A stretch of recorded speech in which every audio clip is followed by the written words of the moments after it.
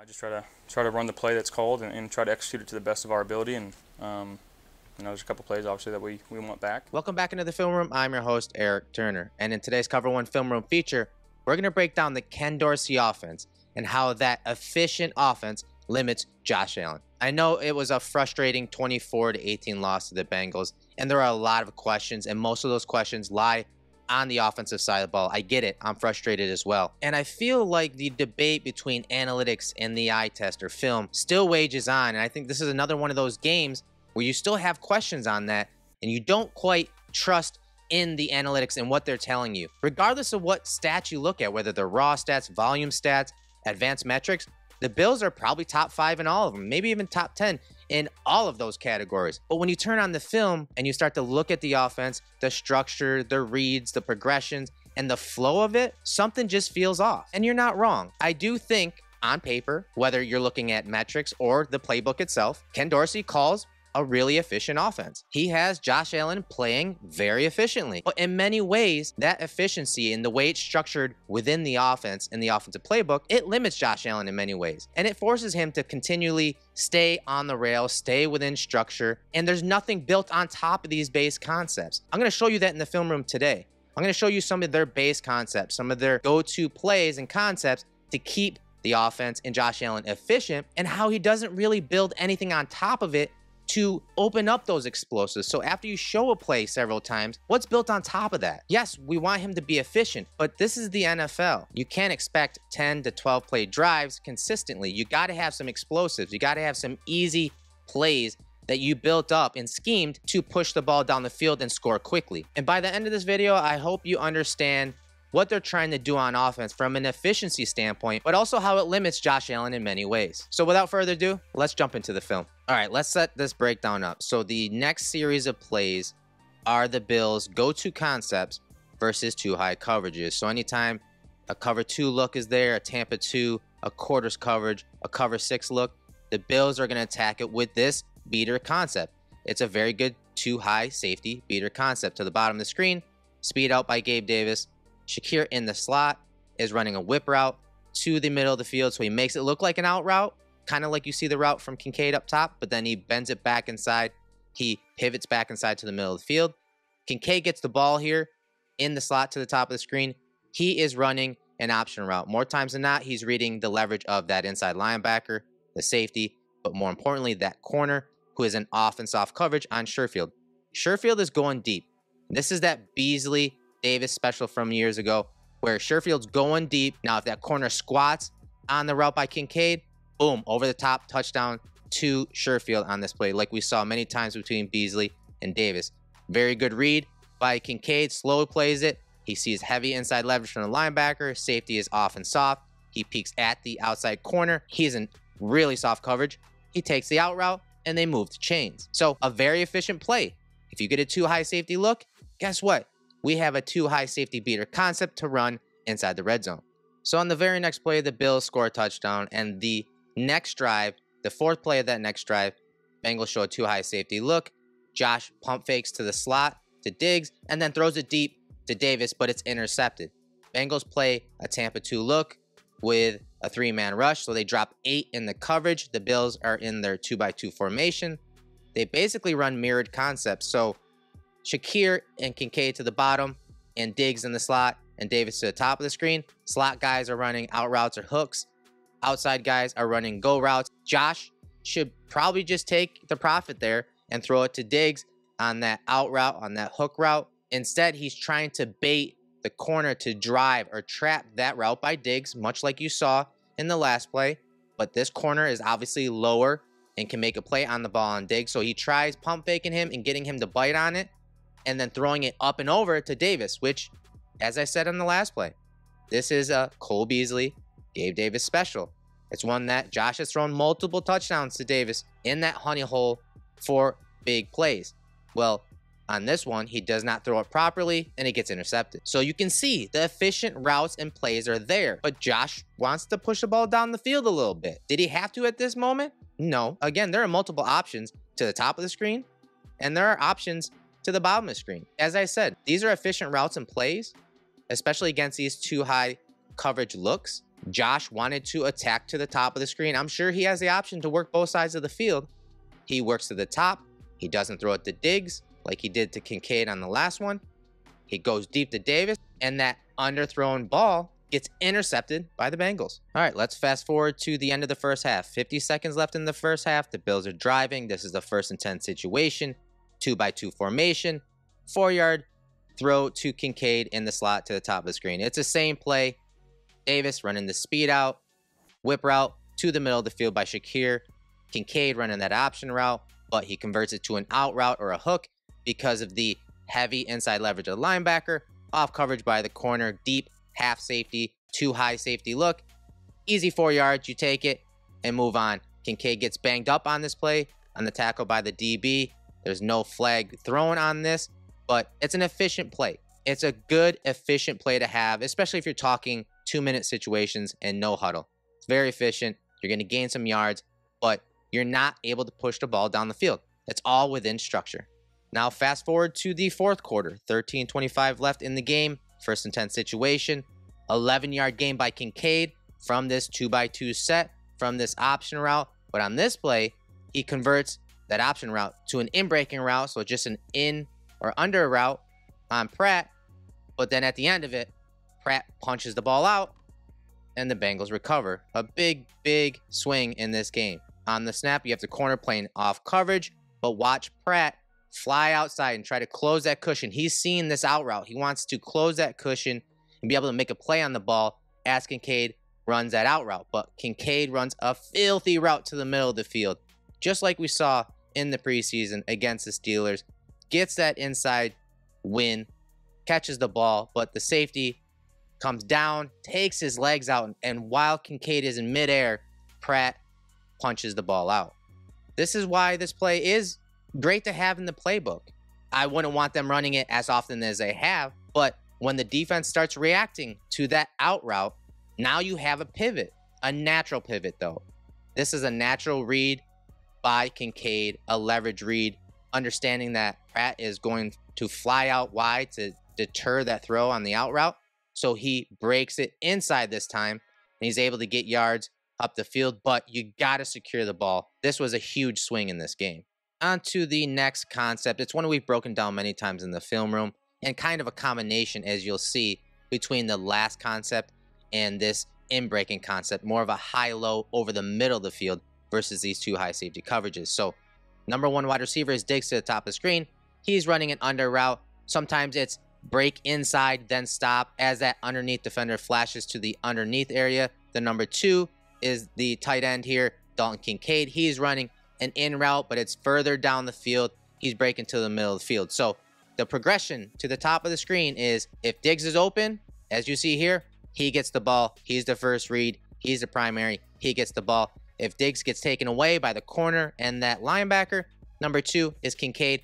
And then Josh is forced to essentially work all the way across the field. To the bottom of the screen, you're going to see that out route by the slot receiver Shakir, and then the go route by Davis, and a check down on the back end to Cook. And this is what I mean when I talk about Dorsey's offense being sort of disjointed. You got your coverage beater to the top of the screen, those two in breaking routes at different levels, attacking the middle of the field.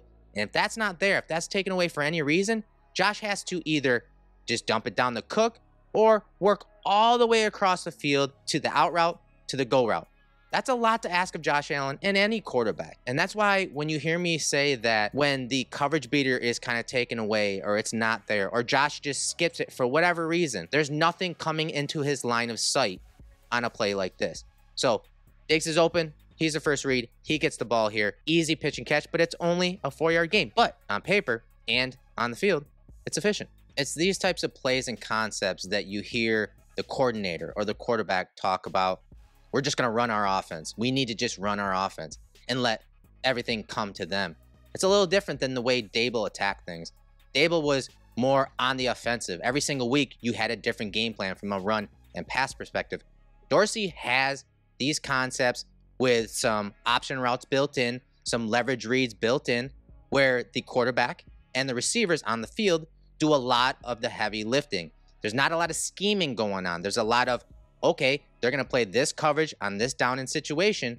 We're going to attack it with this concept And again, there's some things built in there to the routes, whether they're option routes, leverage reads, things like that for the guys on the field. But again, a lot of the heavy lifting happens by the guys on the field. So on the last play, Diggs was a primary. He was open. They gave it to him. On this play, it's a little different. Allen moves past Diggs because you see the safety number 33, Scott, buzz out to the flats. You see the edge defender pop out into the underneath area as the Bengals rotate into a different looking cover two. And so Diggs is taken away. Josh goes to number two. That's Kincaid on the in breaking route. You see him slow down in that window behind the dropping edge player and in front of the Mike linebacker. And it's a nice gain. A simple read from pre to post snap, an easy pitch and catch from Josh Allen to Dalton Kincaid. So later in the game, two by two set, two high safety look.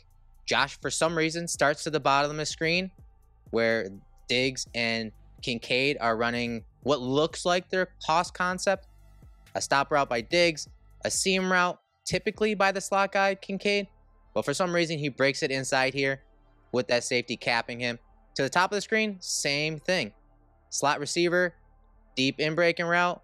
Number one wide receiver, Gabe Davis, running that under route.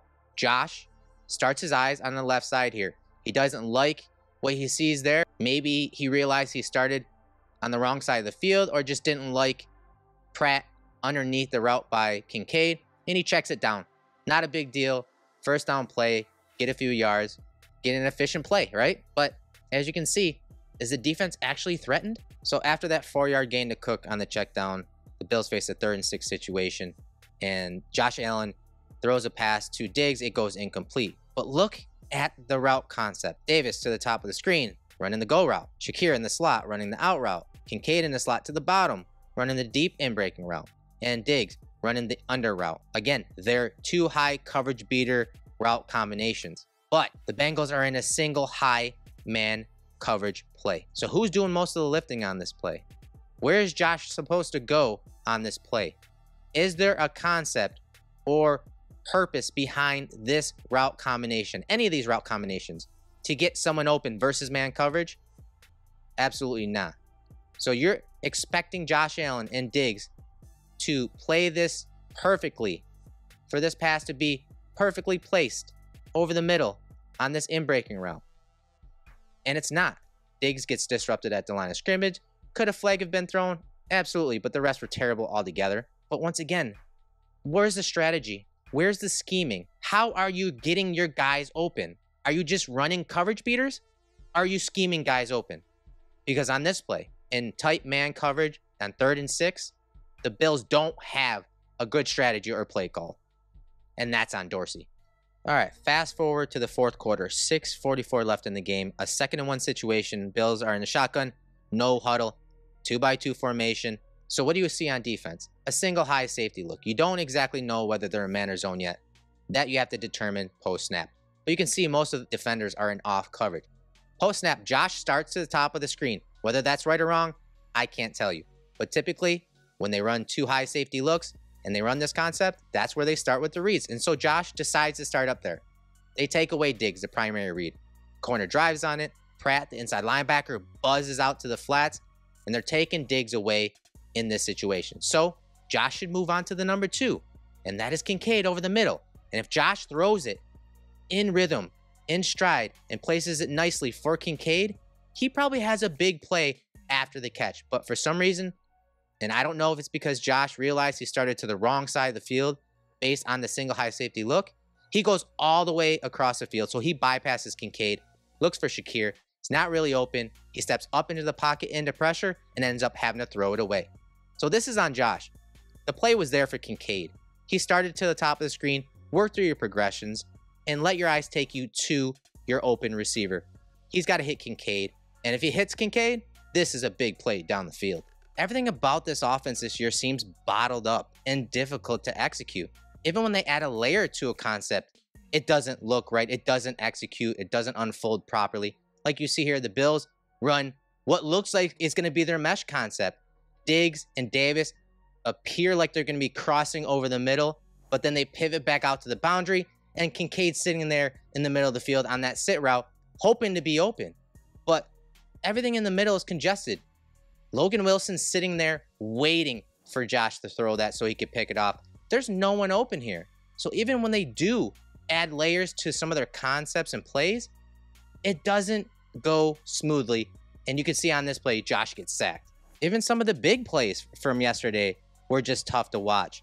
Josh initially looks at Gabe Davis to the bottom of the screen. He's running a deep curl route, but that's taken away by the safety in the corner. Underneath, Kincaid's taken away. But then look at the three receivers to the top of the screen. Look at their spacing. What routes are they running? Diggs looks like maybe he's supposed to run like a wheel up the sideline, but it's capped and taken away. Shakir, same route as Davis, hooks it up near the numbers. Thank goodness he and Josh are on the same page. Shakir moves to the middle of the field, becomes QB friendly, and Josh is able to hit him with a nice sidearm throw. But this is, again, Josh playing above the play call and the scheme. This is not a play that Dorsey drew up to get someone open. Remember that first third down conversion, how smooth it was? On the snap, Josh eliminates Davis on the corner route, Kincaid to the flats, so that smash concept is eliminated. So he moves on to number three in the progression. Stefon Diggs coming across the field, over the middle of the field. He finds him, and boom, they move the chains. Nice and smooth play early on in the game. Fast forward to later in the game, third down situation. Watch the top of the screen, Diggs and Kincaid. They trip over each other. Josh has to move on to his number three. That's Davis coming across the middle. That's taken away from Logan Wilson. Shakir is taken away on the deep over route. Cook is taken away on the in-breaking route. So all the weapons in this play are taken away. Thankfully, Josh is able to get out of the pocket, extend the play, and find Kincaid for the first down. But once again, the little details in this offense go missing in some of the most inopportune moments. You want to call it luck? Fine. I don't. The devil's in the details. And too often, the details in this offense are lost. And it happens in some critical situations. And sometimes it's Josh Allen's fault, sometimes it's Dorsey's fault. On this play, and in most of the plays against the Bengals, the blame should be placed at the doorstep of Ken Dorsey, the offensive coordinator. I've seen too many instances over the last couple weeks, and specifically, even more so in the Bengals game, that the offense appeared to lack direction. Empty set in the red zone here. What does Josh do? On third and nine, just throws it deep to Gabe Davis. Now, there should have been a flag for a face mask on this play. But look at the route concepts versus man coverage here in the red zone. Tell me, what are they trying to do? Just get the ball to Diggs? Well, the Bengals on third and long, they bracket him and man up across the board. What's the purpose behind this play? If they take Diggs away, what's the go to? What are you building on top of that? If they're doubling Diggs, what are you doing to build on top of that to get someone open? A nine route? That's it? It's got to be frustrating the players on the field to see the lack of creativity week in and week out from Ken Dorsey on offense. Too much of the lifting is done by the players on the field and not by the X's and O's drawn up by their coordinator. And let's not forget, Josh Allen does have some blame here, especially in this game against the Bengals. He missed some throws. He didn't have to throw deep here to Harty. He could have easily taken the crossing route by Gabe Davis in the intermediate area. That's open. All he has to do is throw it to a spot and Gabe's going to run to it. So Josh does deserve some blame. He missed some open receivers. He missed some passing windows. I just think a lot of the blame goes to Dorsey. He's in charge of this offense. He's in charge of this quarterback. He's worked every day with this quarterback for several years now. He should be in tune to what he's good at and what he's not good at. Sure, they're an efficient offense. When you look at the film, when you look at the stats, they're very efficient. But that in many ways has capped this offense, has limited Josh Allen, one of the best playmakers in the NFL. Those coverage beater concepts, their base offense, it works. It works on paper, it works on film. But aside from those coverage beaters, what is Ken Dorsey doing to layer or build upon those so that when defenses recognize those coverage beater concepts, they have a counter down the field to get those explosive plays? We haven't seen any of that. We haven't seen the sequencing and layers to plays that you see from some of the best coordinators in the NFL. So until we see that on a consistent basis, the offense, specifically Josh Allen, he's going to be limited. He's going to be capped because Dorsey's going to keep calling these plays that are efficient, that are going to beat the coverage. But defenses nowadays will give that to the offense, force the offense to sustain 10 and 12 play drives. Even if they do score, that is shortening the game. This Bills offense misses those explosive plays, and they need to start getting them by their coordinator scheming them up, building out plays on some of their base concepts that can push the ball down the field and get chunk plays. Once again, thank you for joining me in the film room. I am Eric Turner, owner of Cover One, host of the film room every Wednesday night, 7 p.m. Do me a favor, smash that like button, leave me a comment on your thoughts about this breakdown and the game against the Bengals. Until our next breakdown, go Bills.